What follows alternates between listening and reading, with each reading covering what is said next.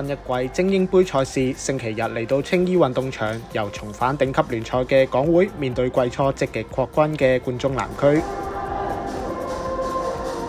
港會今季早軍倉促，但今場開波僅僅三十秒就受到意外驚喜，陣中主力羅賓士高左路勁射破網，對方門將伍偉軒費盡都扑唔到，港會領先一比零。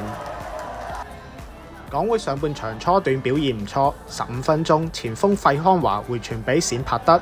以為啱啱革命嘅翼鋒推順左腳勁射，可惜角度太正，俾對方門將接實。半中南區之後企穩陣腳，十九分鐘錯失入球機會，後衞道道壓上前場，再傳俾佐佐木洲，佢順勢推入禁區起腳，可惜個波最後中柱彈出。二十四分鐘又係佐佐木洲嘅機會，閘霆鋒左路斬入禁區，港會後防解圍唔遠，佐佐木舟控定再勁抽，但過唔到對方門將彼得史密夫。但港會之後一直唔大腳解圍，南區好快搶翻個波。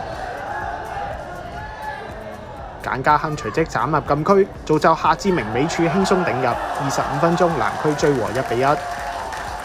南區之後仲有機會，三十二分鐘，鄭展龍後場策動反擊，史提芬彭利拿左路推進，退大位後起腳射門，可惜角度都係太正，未能製造太大威脅。半場兩隊踢成一比一平手，返入更衣室。換邊後，現場落起大雨，五十二分鐘先有港會嘅攻勢，冼柏德同入球功臣羅賓士高喺右路做個撞牆，但冼柏德射門，散中人後高出。南區之後換入谷盈之，收起鄭展龍，希望加強攻力。六十一分鐘，閘霆鋒左路傳中，夏志明窩里一射，可惜射門唔中目標。三分鐘之後，港會收到壞消息，羅賓士高中路產跌閘霆鋒，拎到今場第二面黃牌，兩黃一紅下被逐離場。港會餘下時間需要打少一人。南區打多個之後控制大局，六十八分鐘佐助木洲禁區內推橫，俾對方守衛力逼下起腳，僅僅抽高啫。八十五分鐘一直捱打嘅港會出現反擊機會，後備入替嘅松真雄搶到個波後右路大步推進，再還傳俾後上嘅嚴天健，但依名小將太急起腳，港會錯失再次領先嘅機會。